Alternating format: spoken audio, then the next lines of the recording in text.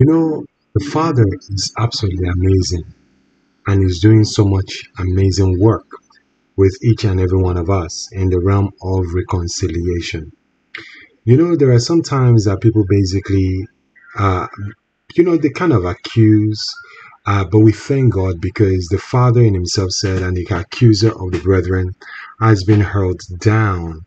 So now you can begin to understand the dimension of freedom that we've all been walking in. It's absolutely beautiful. Because I remember there was a there was a time I was in a sanctuary and there was this man I believe I've shared my story here before. And this man basically hired a witch basically you know and uh, she was a prostitute as well uh, to come after me and my family. Only for the Lord to basically reveal because you know both of them were accusing. And eventually the Lord was like hey I'm going to show you some truth and eventually the truth was basically made manifest where I found out that the man, you know, he's married with children and was sleeping with this prostitute at the same time. And it's amazing because eventually the father said, I'm going to bring justice to the situation, which means, you know, the man was working in witchcraft, also with the witch. But he said, I'm going to expose everything to the wife. And eventually he's going to lose the wife and the children. That's the justice the Father has laid upon this man, I believe, when I was in the synagogue of Satan after I left. So it's a place where I want you to understand that the Father, the Bible declares, that righteousness and justice is the foundation of the throne of God. And we thank God for the justice of the Lord. And it is for that reason I want to share this word with uh, someone by the name Olivia yeah, I want to share this word with you because I know sometimes, you know, in the path in which we've walked, it might not have been a pleasant past. But I want you to understand that the Bible says, now the case is closed because there remains no what? Accusing voice, no of condemnation against you because he sees you and he has made you whole. And I just want to share this because I'm not going to go into too much details, but I believe this testimony that I'm sharing with you will basically resonate with you. And this is the testimony because I remember when I was at uh, university, right? And at uni, you know, everybody was basically, you know, when you're at uni, you're just doing whatever.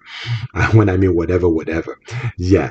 So it was in a place where there was just so much uh, uh, you know, where basically, you know, sometimes you play spin the bottle, which is absolutely wrong. And it's a place where, you know, uh, uh, you get to understand the dimension of where people say, hey, truth or dare.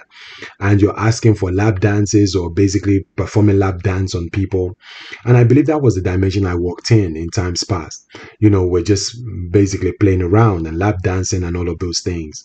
So it's a place where I want you to understand that this in itself, yes, the enemy continue to accuse, but I thank God because the person I believe, you know, that this was involved with, you know, they probably were working in, in witchcraft too.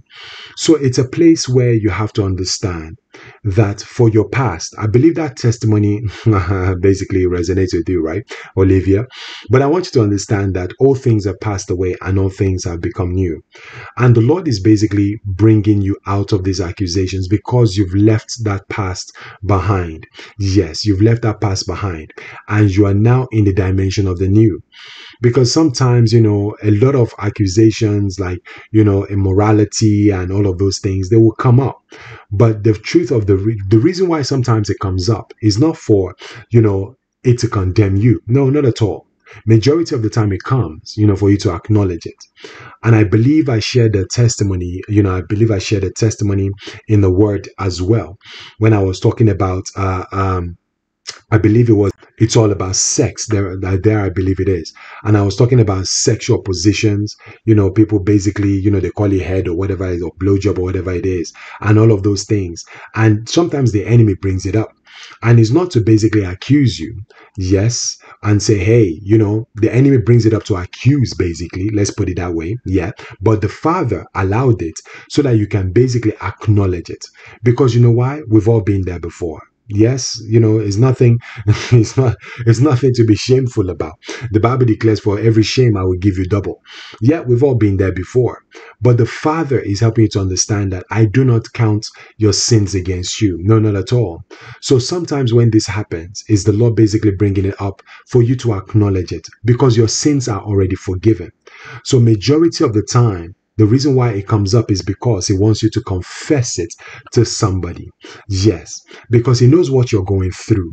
And he knows that, you know, you've let go of all of these things. But the Father is helping you to understand that I do not, as far as the East is to the West, my son, Jesus, basically, he, he went on the cross to remove all of this from you. So it is not me accusing you is the accuser of the brethren.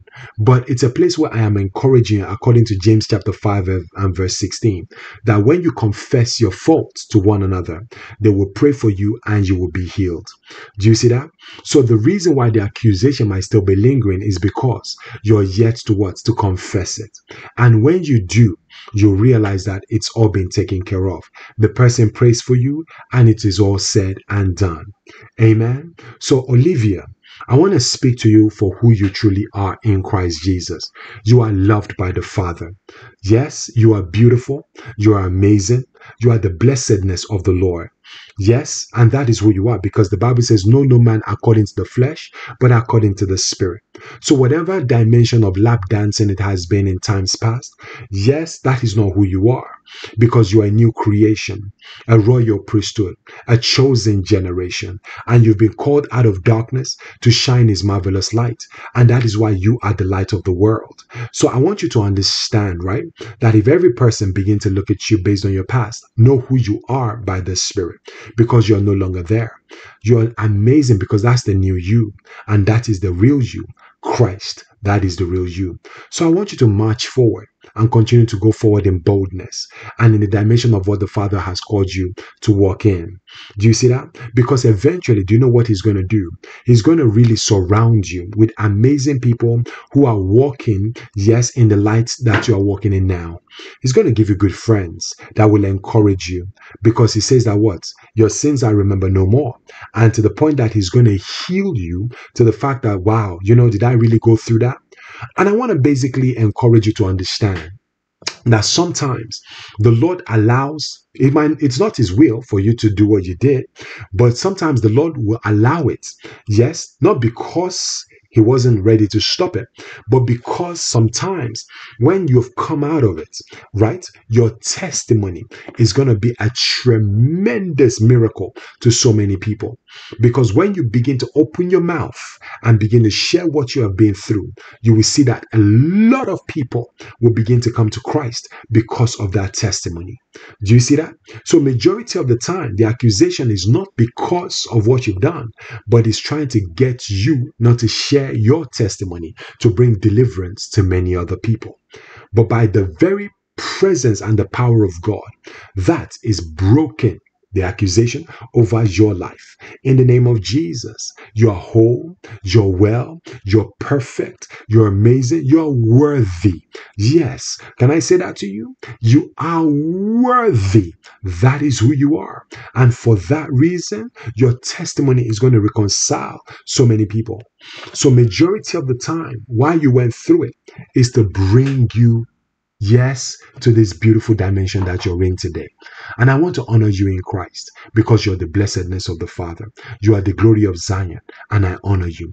This is a new beginning for you because as you confess it to the person the Lord wants you to confess it to, yes, so it, it might not just be you, I want to go and confess it to this person. No, but He will lead and direct you. And as you confess it to them, you will see the freedom and the liberty that comes through. And by, by that in itself, as you begin to share your testimony, a lot of people are liberated. Do you see that? That is why you can read in the scripture. Can I read this over you? Yes. I want to read this promise the Father said to read over you today. It says in Isaiah chapter 54 from verse 4, it says, Do not be afraid, Olivia. You will not be put to shame. Do not fear disgrace. You will not be humiliated. You will forget the shame of your youth and remember no more the reproach of your widowhood. For your Maker is your husband. The Lord Almighty is his name. The Holy One of Israel is your Redeemer. He is called God of all the earth. Can you see? The Lord will call you back as if you were a wife deserted and distressed in spirit, a wife who married young, only to be rejected, says your God.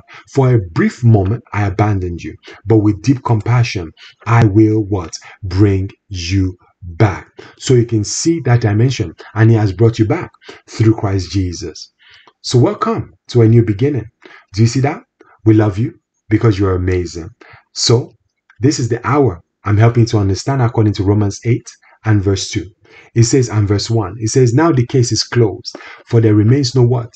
Voice of condemnation against those who are in what? Union with Christ Jesus. Amen. Love you so very much because you're the presence of God. And I bless you with the mercy of God. I bless you with life. I bless you once again with the mercy of God. In Jesus' mighty name, amen and amen. Blessings to you.